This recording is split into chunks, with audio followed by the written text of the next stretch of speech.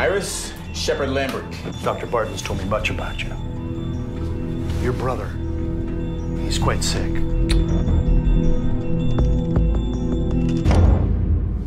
You can help him.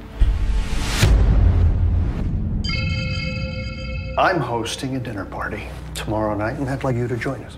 I mean, there'll be other guests there. People who just haven't received a fair shake in life. And the evening will culminate with a game. A contest.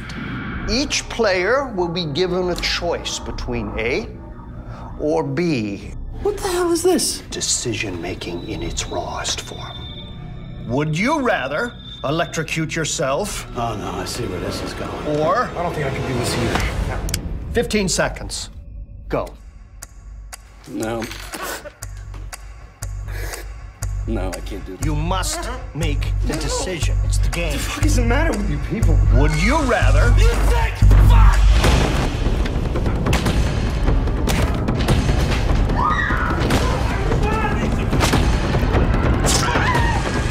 Light the fuse!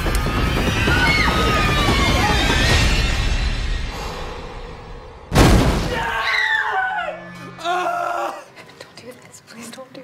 Can I stab her anywhere?